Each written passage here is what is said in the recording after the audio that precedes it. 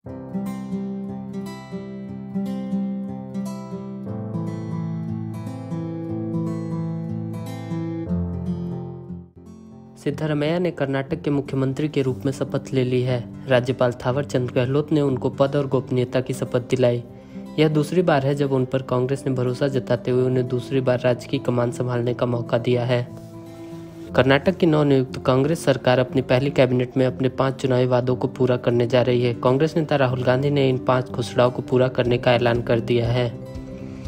प्रधानमंत्री Narendra Modi G seven शिखर सम्मेलन को लेकर जापान के हिरोशिमा के दौरे पर हैं। इसी बीच हिरोशिमा में जी सेवन शिखर सम्मेलन से इतर पीएम मोदी और यूक्रेन के राष्ट्रपति व्लादिमीर जेलेंस्की के बीच द्विपक्षीय वार्ता शनिवार को हुई। पीएम मोदी और जेलेंस्की की पिछले साल फरवरी में शुरू हुई रूस यूक्रेन युद्ध के बाद पहली मुलाकात है। जापान के हिरोशिमा शहर में जी सेवन शिखर सम्मेलन में शनिवार को पीएम मोदी ने कई बड़े नेताओं से मुलाकात की। भारत इस संगठन का हिस्सा नहीं है, लेकिन एक मेहमान देश के तौर पर पीएम मोदी इस शिखर सम्मेलन में शामिल हुए। यहाँ उन्होंने दुनिया भर के कई बड़े नेताओं से मुलाकात की। इनमें अमेरिका के राष्ट्रपति जो बाइडेन से लेकर ब्रिटेन के राष्ट्रपति ऋषि सुनक तक शामिल रहे। अमेरिका की एक अदालत ने 2008 में हुए मुंबई हमले के साजिशकर्ता और जेल में बंद तहव्वुर हुसैन राणा के प्रत्यर्पण की मंजूरी दे दी है। 16 मई को कैलिफ़ोर्निया के यूएस डिस्ट्रिक्ट कोर्ट की मजिस्ट्रेट जज जैकलिन चुलजियान ने अपने आदेश में लिखा, राणा उन अपराधों के लिए प्रत्यर्पण योग्य है जिसमें उसके प्रत्यर्पण का अनुरोध किया गया है।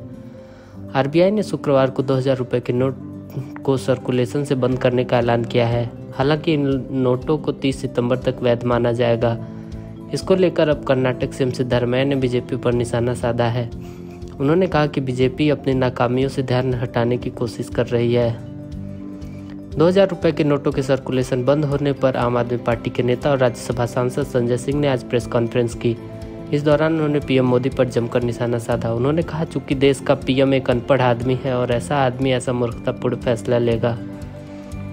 द केरला स्टोरी इस साल की चुनिंदा सुपरहिट फ़िल्मों में अपना नाम दर्ज करवा चुकी है। वीक डेज़ में भी फ़िल्म को दर्शकों का अच्छा रिस्पांस मिल रहा है। कुछ ही दिनों में फ़िल्म ने डेढ़ सौ करोड़ रुपए के आंकड़े को पार कर लिया है। वहीं अब फ़िल्म तेज़ी से 200 करोड़ क्लब में शामिल होने के लिए आगे बढ़ रही है। सिंगर राहुल वैद्य और एक्ट्रेस दिशा परमार की घर जल्द किरकारी गूंजने वाली है। दोनों जल्द ही पेरेंट्स बनने वाले हैं। सोशल मीडिया पर उन्होंने फैंस को ये गुड न्यूज़ दी है। इंडियन टी ट्वेंटी लीग में आज लखनऊ और कोलकाता के बीच मुकाबला खेला जा रहा है। यह मैच कोलकाता में खेला जा रहा है।